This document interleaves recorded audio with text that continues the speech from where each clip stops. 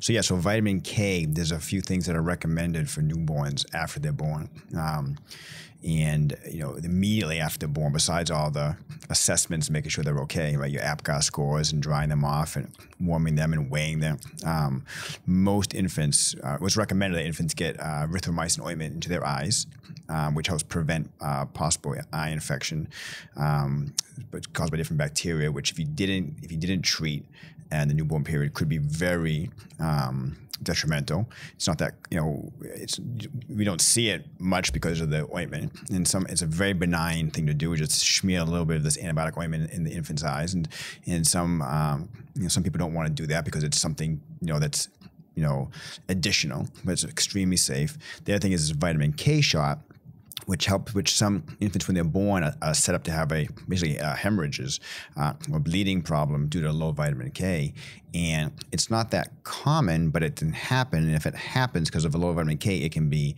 disastrous and it's just a vitamin K shot. I just say just, but it is vitamin K. It's an injection. Your baby's just been born, and it helps um, make sure they have adequate uh, amount of vitamin K, which helps in the clotting uh, system. You know, some parents don't want to do that because again, it's not um, it's invasive, right? It's a shot. The baby just is born. It's not natural. Uh, but the problem is if you don't do it, and we didn't do it, you know, how many years ago? I forget when we started doing it. It was before my time.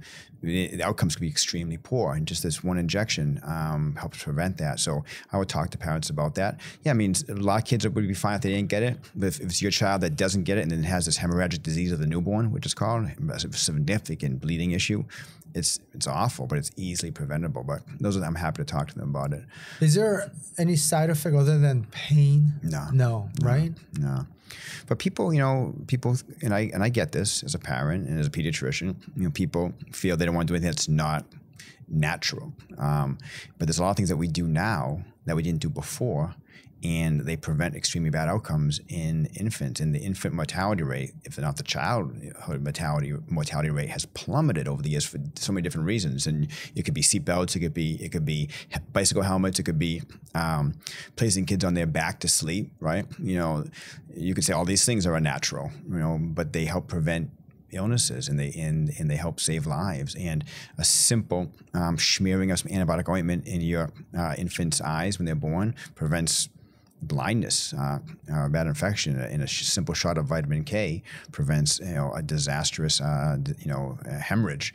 Again, not doesn't always happen. I mean, I could I could probably very easily drive from my from my house down the street to Starbucks to be fine without a seatbelt. But we do know that some of the you know most you know, accidents happen very commonly, you know, near, near your house. So why take that chance, yeah. right? That's and I get it, I get it. Um, but we just know it save it saves lives.